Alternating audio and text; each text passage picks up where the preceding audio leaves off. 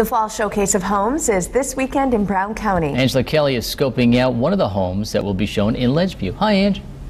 Hey guys, well here is sort of the uh, the program, the booklet for the fall showcase of new homes taking place this weekend and next.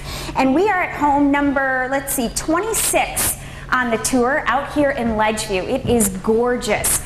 Take a look inside. You can see a beautiful kitchen. We're going to get into this a little bit later. But first, we want to show you some great ideas for a family room.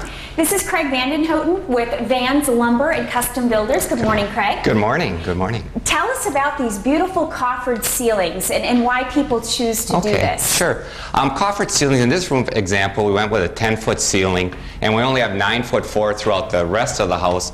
So we wanted to bring the ceiling down and make the room feel a little more cozy. So this coffered ceiling is a great way to accomplish that. What's unique with this ceiling, each one of these boards and crown molding have to be sat down with the owner and it was customly designed on site. So they met with our project manager and our finish carpenter, Chris Jr., to make this beautiful ceiling. Okay, fantastic. You can't miss out on the fireplace. That's gorgeous. But let's talk about these windows surrounding the entire room. Okay, the, the windows that we carry are, are the Marvin line, and what we like with the Marvin windows is that the window is not manufactured until we place the order. By, a lot, by doing that, the window can be really made any different size.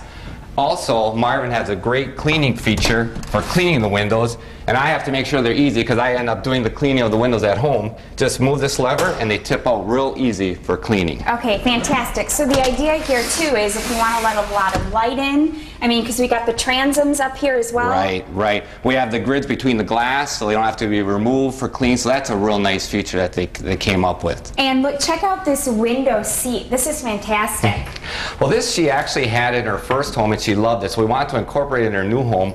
So again, by bringing the windows down to the window seat, it makes a great place to curl up and read a book. And like you said, plenty of storage uh, right underneath the window seat. Because when you have company coming over last minute, like your in-laws, and you have to clean really quick, you just throw everything right in there, right? that is correct. That's what I would do with it at least. Real quick before we go, look at the beautiful hickory floors. Hickory is becoming very popular. It's a very durable floor, and especially for a young family, it'll, it'll keep this beautiful look for years and years to come. Fantastic. Well, I can't wait to show you guys the kitchen and what's it called? The butler's pantry? The butler's pantry.